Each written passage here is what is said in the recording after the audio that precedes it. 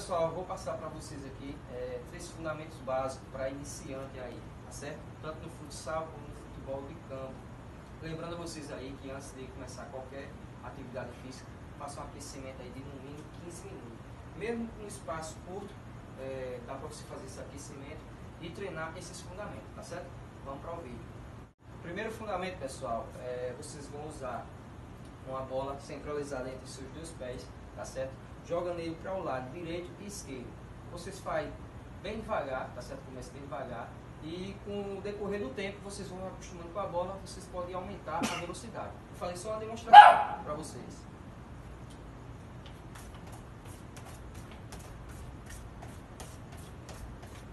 É um treinamento bem simples, mas precisa de bastante concentração, certo?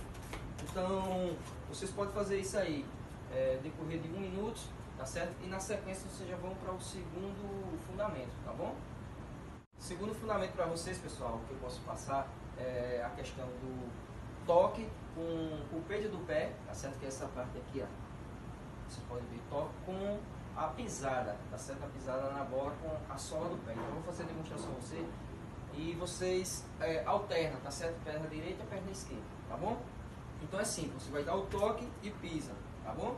Puxou, aí para direita, tocou, pisou, mesma coisa. E assim vai, tocou, pisou. Parece sempre ser bem, ser bem simples, tá certo? Mas se você não tiver cuidado e atenção, você vai acabar errando, tá bom? Tocou, pisou.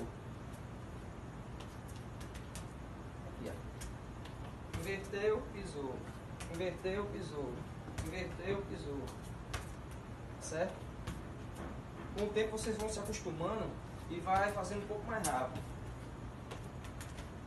certo? Então treine isso aí na sua casa, cerca de um minuto e já vá para o próximo fundamento. Terceiro fundamento, pessoal, vocês podem fazer a condução de bola, tá certo? Mesmo com um espaço curto, vocês podem conduzir ela para frente com o toque, tá certo? Com a com o peito do pé, como eu mostrei, e pode trazer ela de costa atrás, né, no caso, é, com a sola do pé, tá certo? Vou fazer a demonstração para vocês e vocês fazem essas repetições durante um minuto, tá bom? Então acompanha aí.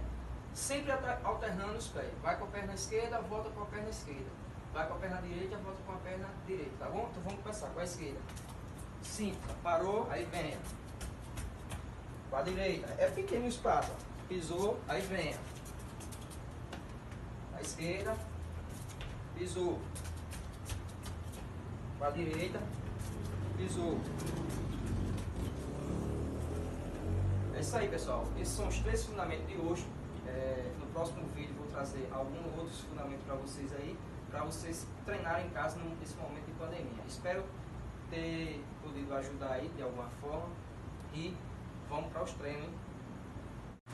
Bom pessoal, esse foi um dos vídeos aí que eu queria passar para vocês aí do projeto da escolinha, para vocês não ficar parados em casa, então vocês vão aperfeiçoando aí, que com certeza quando a gente começar os nossos treinos, vocês vão estar tá bem, bem evoluído e não perder o ritmo de jogo, tá certo? Espero que vocês tenham gostado e vou no decorrer da semana eu vou fazer outros vídeos para passar para vocês também, tá bom?